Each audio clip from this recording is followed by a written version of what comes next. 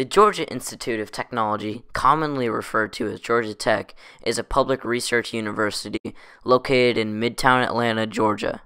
Requirements to be able to attend Georgia Tech is you have to have at least a GPA of 3.95. The tuition is $12,204 in state and $32,396 out of state. Georgia Tech's main campus spans 400 wooded acres in the heart of Atlanta. The campus is comfortable yet a stimulating living and learning environment with virtually every amenity close at hand.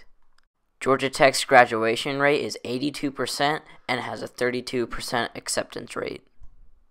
If you're like most college bound students, you have an image for what you want in a college experience excellent reputation, challenging academics, innovative programs, first class facilities, stellar faculty, and an exciting campus environment.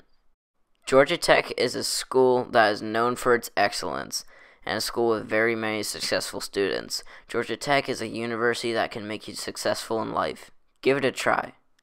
Oh my god, are you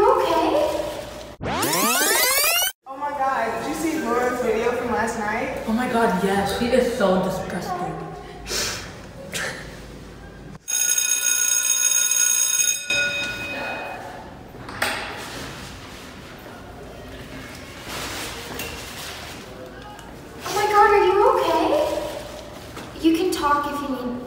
I'll be there if you need me to talk to you.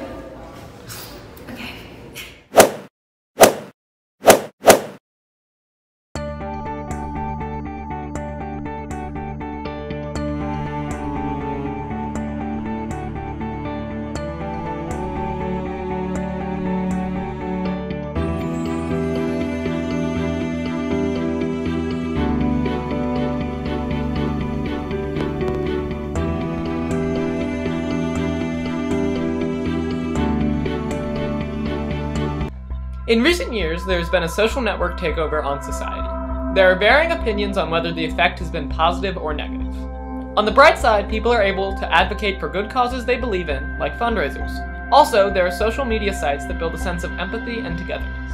If you are suffering from a specific problem such as cancer, you can find sites that show that you are not alone and that you can get through this. Unfortunately, social media can be detrimental to society.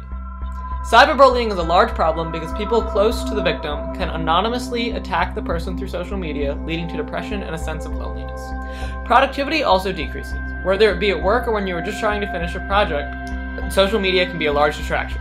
This is because it is easier to post selfies on Instagram than it is to use your time wisely and finish science fair. Overall, though, social media is a positive advent of the 21st century. It allows for more job opportunities, better communication, a sense of togetherness, and even money raised for the less fortunate. Hopefully, these negative qualities can be phased out throughout the next few years.